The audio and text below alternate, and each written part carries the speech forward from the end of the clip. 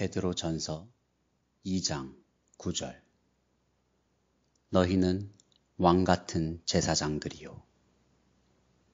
무슨 권리로 왕 같은 제사장이 되는 것입니까? 속죄의 권리입니다. 자신을 과감히 버리고 제사장적인 기도 사역을 시작할 준비가 되어 있습니까? 자신이 제대로 서 있는가를 알아보기 위하여 끊임없이 자신의 내면 세계만 들여다보고 있으면 그는 자기도 모르는 사이에 자기 중심적인 병적인 교인이 되게 됩니다. 그러면 힘있고 진실한 하나님의 자녀로서의 삶을 살지 못하게 되는 것입니다.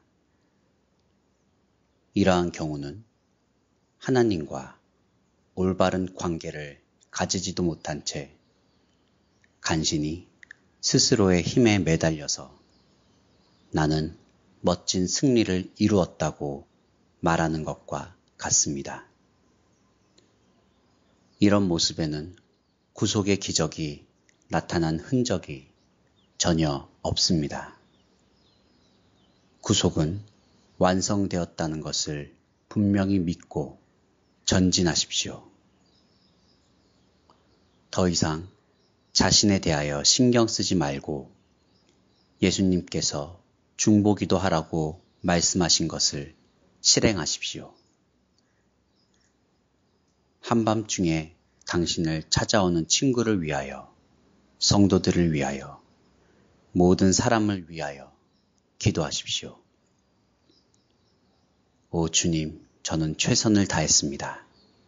그러니 제 기도를 들어주소서 라고 아뢰는 대신에 오직 예수 그리스도의 완성된 구속 때문에 우리의 기도가 응답된다는 깨달음 가운데 기도하십시오.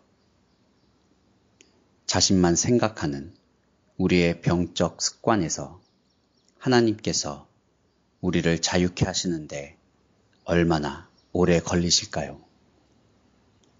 하나님께서 우리 자신에 관하여 어떤 말씀을 하셔도 더 이상 놀랄 필요가 없을 정도로 나는 내 자신에 대하여 죽어야 합니다.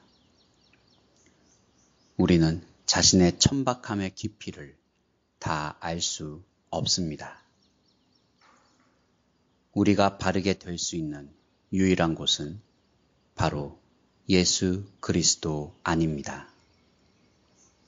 주님 안에 거하게 되면 우리의 내적인 생명이 마음껏 중보의 사역을 감당할 수 있도록 모든 힘을 다 쏟아 부어야 합니다.